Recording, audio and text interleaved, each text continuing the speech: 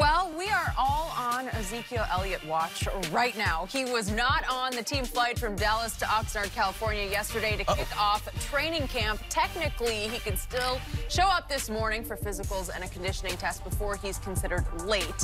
There have been reports that Zeke could hold out of camp for a new contract, and Yahoo's Charles Robinson reported he's looking for a deal that would exceed the extension Todd Gurley signed last year for over $57 million.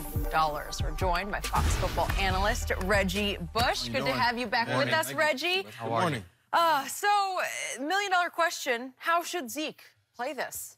Ooh, um, wow. That's, you know, that's a good question because rule number one to negotiating for a new contract is um, you got to be willing to go to distance, right? If you're going to hold out, you got to be willing to go to distance. Yep. And the in the case of Zeke, if he never had an off the field issue, we wouldn't even be having this discussion right now because he is the best running back in the NFL that this league has to offer. Um, the stats back that up. Um, so much that I think he makes Dak better, maybe not the other way around. Uh, but listen, Zeke mm. is the best running back in NFL. Um, there's no question who the offense flows through. Mm. And so to me, I thought he should have maybe waited one more year, hmm.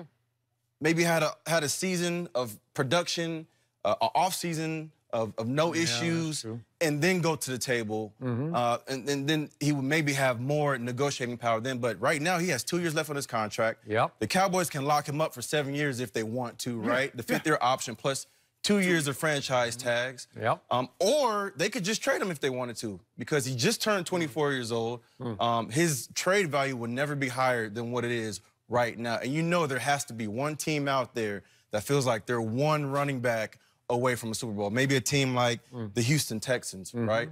Uh, so to me, uh, if there's any, if there was a running back that could challenge this far out with this many years left on the contract, it's Zeke. Mm. Did you ever hold out? I never held out. Did you ever think about holding out? Did you ever discuss it with your representative?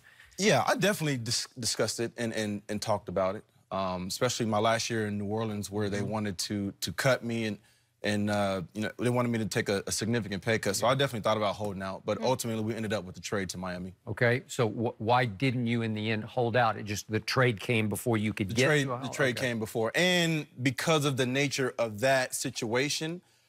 In, in, in New Orleans, I felt like I was never going to get that shot to be the every down back that I wanted to prove that I could be. Because, as you know, in Coach Payton's offense, they use a multitude of backs, right? right. They use a number of running backs. So for me, I felt like well, taking a pay cut and not getting the same amount of opportunity didn't make sense. And Miami did not cut your pay? No. And Miami, and they made me every down running back.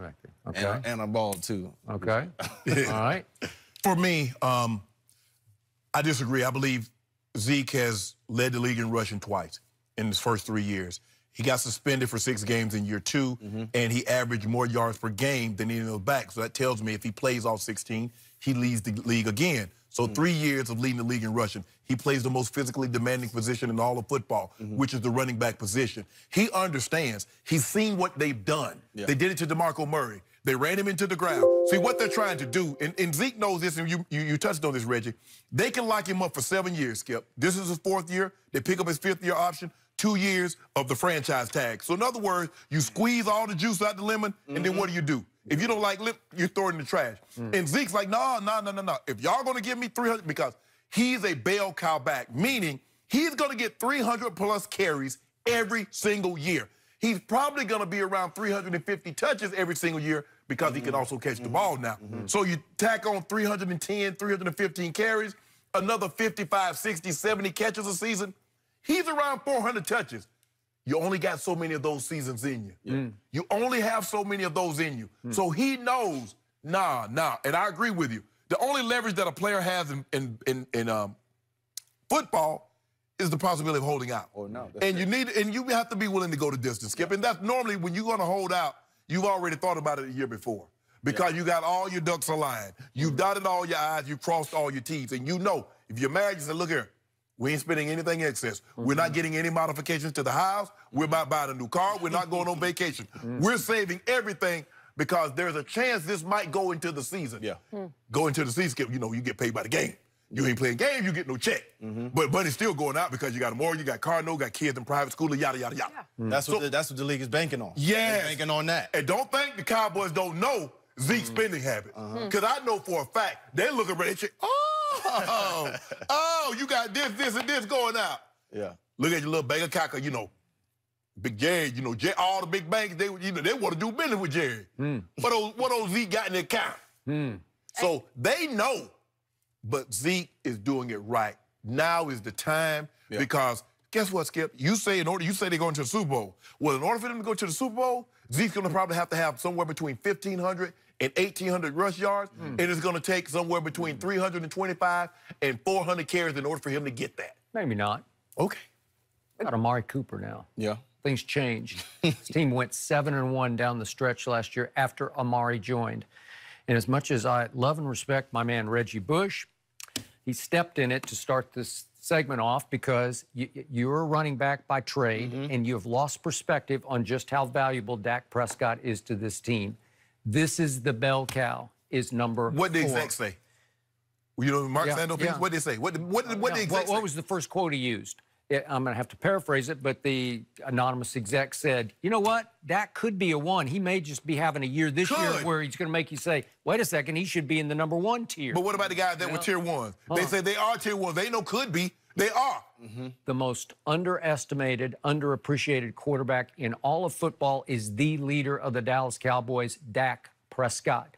He set the all time record for quarterback completion percentage in his first three years of any quarterback in their first three years in the league. And he led this whole league over the last three years in game winning drives. Mm-hmm. He torched the division rival 'Cause he put Eagles twice last year. No, mm-mm, he Yeah. brought him back.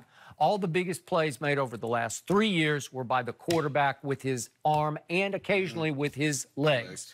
So the point is, he's more valuable just given the position he plays No. than 21 see, that, is. see, that's what you flaw. See, that's your flawed thinking. You Mm. think just because he's the quarterback, he's more valuable. No, Skip. They built this team around his ability to run the football. And you talk about when Lamar showed up. Do you, Reggie? If you average 102 yards rushing per game, Mm-hmm. how many Pro Bowls and how many first team All Pros you gonna miss? Not, None. not many. 1,600 yards. That's what he would average. Help me out until week eight last year, over Dak's first three years. Who was his go-to receiver? Who was his one receiver? Uh, nobody. Yeah. Dez Bryant Gal- thought he was. Gal- uh, uh, no, Right, no, right. Dez was cut. Michael Gallup. Yeah, but I'm, I'm just saying over the, the previous Oh, yeah, the two previous years, year, yeah, yeah, it yeah, was yeah. supposed to be Dez. They Yeah, had no rapport, no trust, no connection. right. It was a disaster. Right. Because Dez hit the physical wall Right. Mm-hmm. and he was a shell of himself. Amari came and life changed. That's why I'm picking this team because the team I saw down the stretch last Mm-hmm. year is going to be the best team in the, the NFC this year. So the point is, I always trust Jerry Jones on salary cap issues. Mm-hmm. He loves Zeke as much as you are trying to love Zeke just because you hate the Cowboys. No, So I you- love Zeke. you know, he- But Skip, why do you think they can't play coverage on Amari? Because you got to drop the eighth guy down in the box to stop Zeke. Zeke. Okay, we'll watch how long that lasts this year because Michael Gallup will emerge. And all of a sudden, we got Randall Cobb in the slot, who's a little bit of an upgrade over Cole Beasley. Mm-hmm. And all of a sudden, footballs are going to be flying all around, and it's going to open Stop up it. rush lanes. Will you stop it with this Michael Gallup? The only Gallup I know famous is the pole. He's And going to be galloping past candidate safeties this in the year. Galloping past Whatever, safeties on baby. deep balls. He's going to be a deep threat. Now, if you said uh, who, if they had Julio, I'm like, okay, yeah. Or they got Mm. AB, they got Mike Evans, or oh, they all like, oh, Don't, hey, don't forget little Tavon, too. Tavon's still there. They he can run. Well, behind. it's not Dang gonna it. do it for They ain't heard from Tavon in three. Kmart is a Hey, gadget. we, we heard from Skip, him a couple times Skip, last year. He's a gadget guy. Mm. Will you stop this? He caught a couple of deep balls. He's like one They of just they don't use them. Hey, they literally don't against, use them. Wait a second, in the playoff win over Seattle, he was returning punts like a demon. Skip. He looked almost like a Reggie Bush. to me. Skip, he's a gadget guy. He's one of these guys. You know, you know one of these hats when you go to the Mm. stadium and they got the hat on and you got beer on both sides. You can drink on stuff. He, that's what he is. He's a gadget. That's He's guy? nice. He's cute. Like, come on, he ain't that. Nah, come on now. But That's what he is. That's But just he's a disrespectful. fancy little gadget. to Skip, have. what, Yeah. think about it. Mm. Sean McVay could come up with schemes and get everybody involved. Yep. Mm. Sean McVay couldn't get him involved. He goes to Dallas and you oh, oh Tavon, Mm. we got Tavon. Skip, how long before you give up? Give up. It's not gonna be I got a new coordinator. I got Kellen Moore. You've been High IQ. back and forth on him. But before we go on, Yeah. the latest on Zeke, NFL Network is reporting still no sign of him. His agent and the Cowboys have had talks. They are not close. That is hmm. the latest we're He hearing, definitely- Skip. he definitely so we showing haven't. Okay, so I got to refer back quickly to the Charles Robinson tweet. He of Yahoo Sports does an excellent job, but he says that he's hearing that Zeke now wants more than Todd Gurley, as you Yeah. used in your league. Substantially. Does he more. deserve it? I think Sure, he deserves it. does. Yeah, Wh- What, I'd what would you ask for if you were Ezekiel Elliott? Would you ask for Latavius Murray money? No, you'd ask for Todd Gurley money. I so am I million more. shocked by Right. this? No. But here's the good news to all this that Charles Robinson goes on to say, which would mean Dallas could eventually have three players, including Dak and Amari, Mm-hmm. among the top three salaries at their positions. Mm-hmm. That's a great problem to have. That means they're really talented players. Yeah, but you play Yeah. three. You play th- three guys on your own roster. Top three money. Yeah. That's a lot of people got to go. He'll pay nobody else. So what about Jaylon Smith? What he gonna want?